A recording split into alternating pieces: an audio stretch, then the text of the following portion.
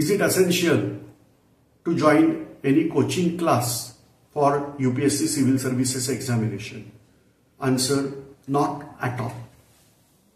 If you are considering yourself like Ekalavya, you are aware about the story of Ekalavya, the great warrior. So, uh, if you are considering yourself like Ekalavya, then this coaching is not required. But otherwise, if you are considering to be the best archer, then obviously Dronacharya is required. Like that, uh, it's everybody's lookout.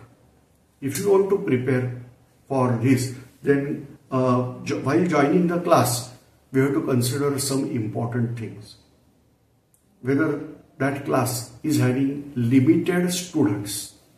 It is not that you are one out of 400 in a batch. So small batch size is important.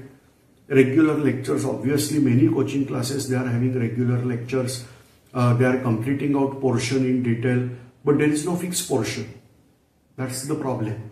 Then uh, regular test practice is there, analysis of the test.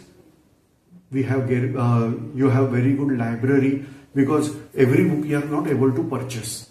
It is not recommended also that you have to purchase any one manual and uh, rest of the books you can borrow from library. So do you have library facility? The most important thing that coaching class is convenient to you.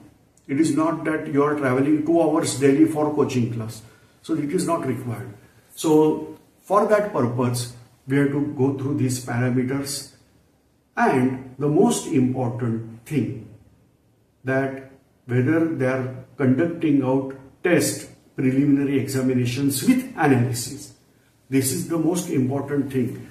Then uh, you can go through the coaching classes like that one coaching class is ours that is Savarkar IAS study circle you can join